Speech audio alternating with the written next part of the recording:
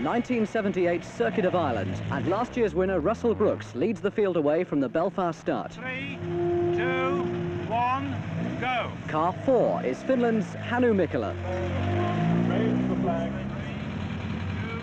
Now in his 11th year as a works escort driver, Britain's Roger Clark.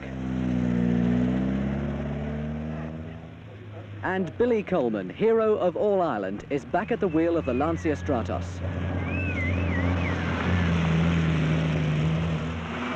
The first day, and Brookes is determined to win the circuit again.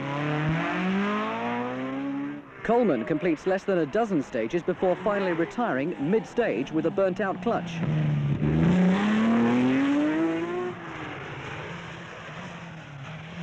Mikkola, driving with a sticking throttle, loses more than 10 minutes when he slides over a bank.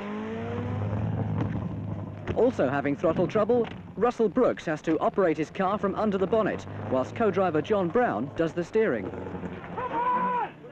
The special stages are meant to be closed to all normal traffic, but this Irish farmer doesn't seem to have got the message, much to the annoyance of Markku Alen in the works Fiat.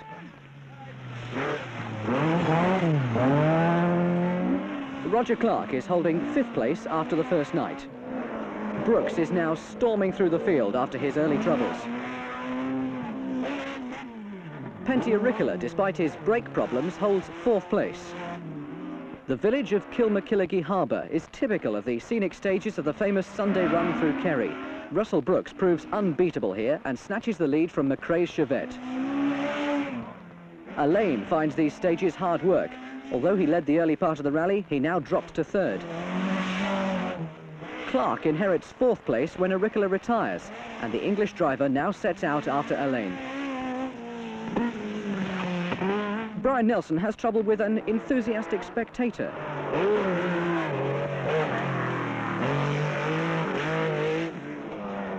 Brookes now has a commanding lead, but he's obviously feeling the pressure.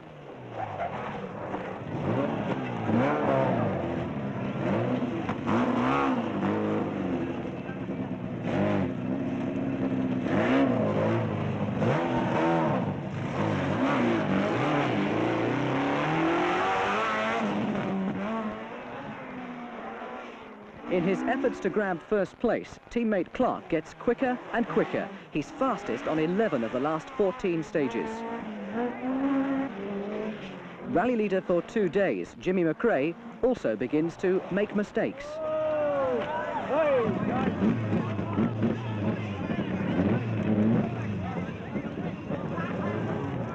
So does John Lyons.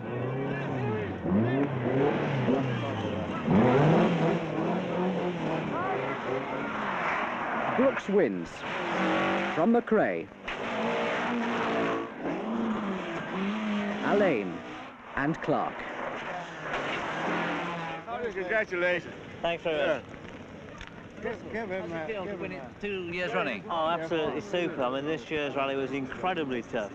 Uh, you know, and even just to get here is very welcoming, but to win it as well is a sort of double Second pleasure. years. It really was a very, very tough event. man who sits beside you. Thanks, Commodore. Back in mainland Britain, 250 miles of Welsh forests await Pentti Airikkala's Vauxhall Chevette. A confident Hannu Mikkola leaves the Cardiff start and immediately sets the pace. Russell Brookes is close behind the Flying Finn in his similar Ford Escort.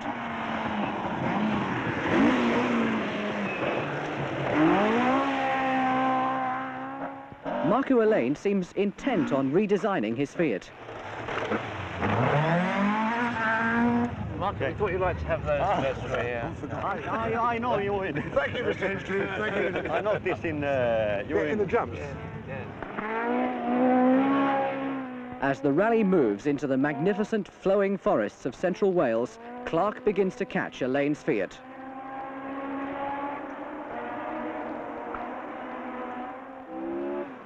But it's Mikkola who's totally in control, leading by over two minutes. Clark moves up to second, making it a Ford 1-2.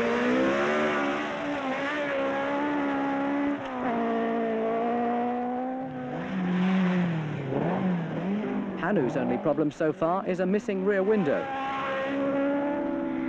Roger is having a tremendous run, setting times that only Mikkola can beat. Brookes is trying to make up time after suffering a blown tyre and losing eight minutes.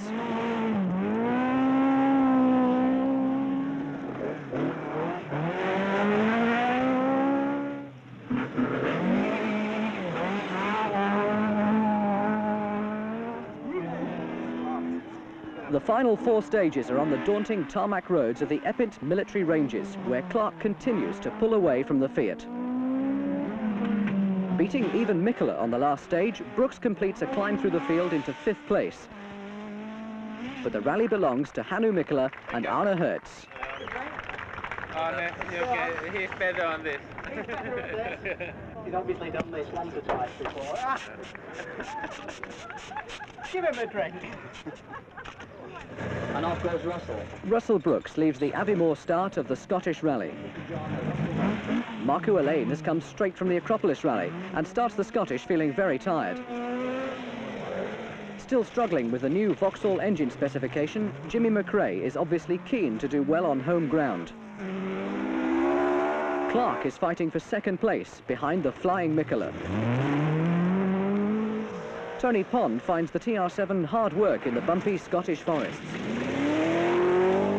That's what I was saying to you. What is is it that what's doing it? Is the car kicking into a corner? Yes. It was, but it was the front end that was doing it then, and it's still doing it now. That's what you're saying.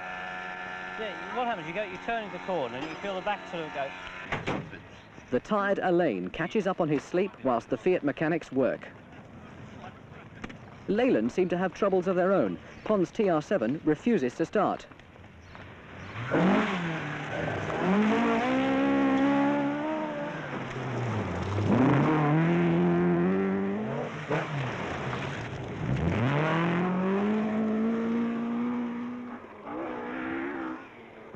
Russell Brookes' chance of victory is gone when he drops to 13th position following a short excursion.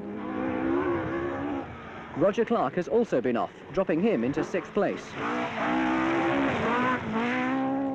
It wasn't a particularly hairy crash. All we did was just slide sideways into a very muddy ditch. Uh, we couldn't get any traction to drive out and we were stuck there. There was no mechanical damage to the car whatsoever. Uh, and in fact, we weren't even more than a foot off the road. As little as that. Yes, that's all. How did you get out? Uh, we were incredibly fortunate. Andy Dawson in his Datsun uh, has not had a particularly happy rally. Uh, and he stopped and towed us out uh, to the cost of about two or three minutes to himself, which I think is very, very generous and very sporting. Mikkola now leads by a comfortable eight seconds. Clark pulls back enough to finish third, whilst Brookes climbs back to take seventh place. Having led from start to finish, Mikkola wins the Scottish in impressive style.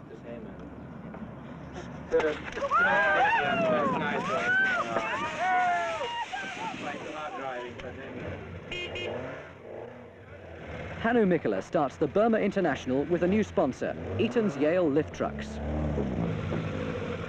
With Markku Alen away in Finland practicing for the Thousand Lakes Rally, the German ace Walter Röhrl gets a drive in the Works Fiat.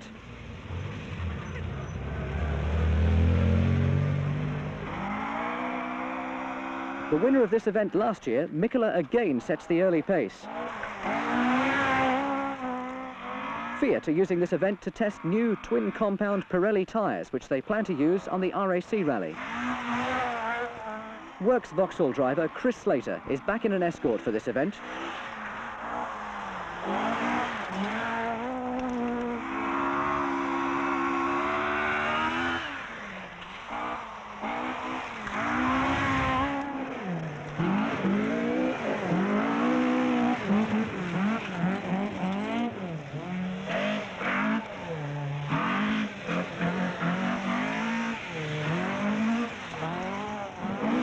Clark tackles the first of three tarmac stages in Glasgow's Bellahouston Park. Mikkola makes a rare mistake on stage nine and drops to fourth place. The new rally leader is Russell Brooks. As the rain continues to team down, the rally moves into the classic forests of Argyllshire. The young Australian driver Greg Carr is setting regular top 10 times on his first ever British rally. What did, how just say? He reckoned that Britain was going to sink shortly with all this rain. So what do you make of all this rain then, Hannu? Oh, this is quite normal in this country. So what sort of night have you had then, Roger? Well, everything I possess is wet. it's been torrential the whole night. Um, the forests are awash, and even with the narrowest tyres on we've got, they're still aquaplaning down the straights. Hard work. As the two-day rally draws to a close, Mikkola is catching the leaders. Walter Röhrl finds the new Pirellis less than satisfactory in the prevailing conditions, and his Fiat drops out of the battle for the lead.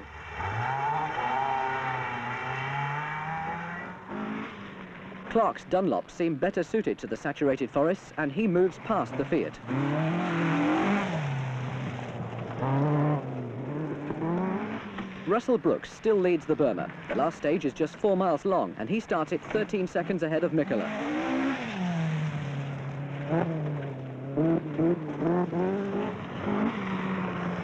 Surprising most of the regular drivers, Greg Carr finishes in sixth place and takes the Man of the Rally award. What's, what's gone wrong? Oh, when we had an ignition pack go, and it cost us a minute and six seconds to hand it. What's that mean then? Um, depends on whose edition of times you use, but either Hannu's won by a second, we won by a second, or as we think, uh, it's a tie. And if it's a tie, Hannu wins on the tiebreaker. So Hannu, you've just been officially confirmed the winner. How do you feel? Oh, I'm very surprised. I never thought that I'm so lucky person. You know, normally luck is not on my side, but it looks like this time it was. You, you, But you- I feel sorry for Russell. He had a very good run. He was driving very well. As the championship moves to the Isle of Man for Britain's only Pace Note International, Russell Brookes is feeling the pressure. Well, very, very tense at the moment. I do before any rally, but before this one especially so, because really this one is the critical one in the championship. If Hannu took a win on this, there's no way I could win the championship. Um, if we could beat Hannu, then we'd be in with a very good chance indeed. Hannu, you've had a wonderful run of success in British rallies recently. How do you feel about this one? Looks like it's a normal weather again. It's raining, so we are quite used to it already. The lead is immediately snatched by Hannu Mikkola. Clark is fighting for third place. Tony Pond holds a comfortable second place. John Taylor also contests third. Mikkola continues to extend his lead. He's fastest on six of the first nine stages. Russell Brookes' car continues to cause problems, putting him in ninth position.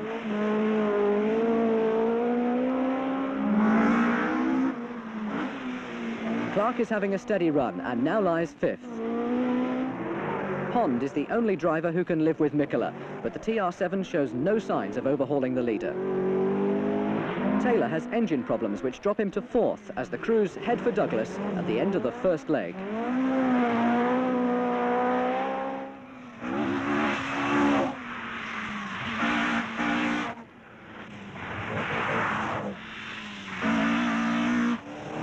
Pond's TR7 starts the second loop.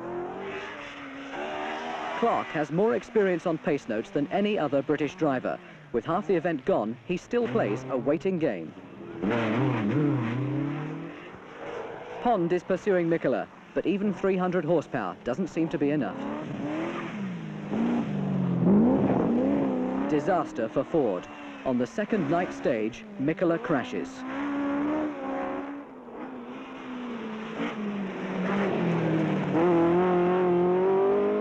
Hannu, literally minutes ago, you passed our camera in special stage 10, and here you are standing on Douglas Promenade with the lights in the background. What, what's happened? We uh, catch a front wheel puncture and uh, we went straight off the road.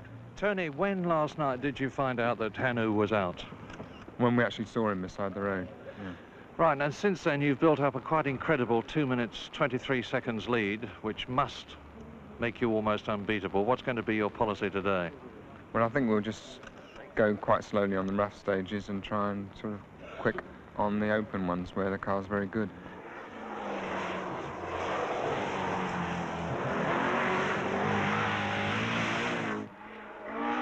Clark is fastest on half a dozen of the final stages, but he seems to have left his move too late.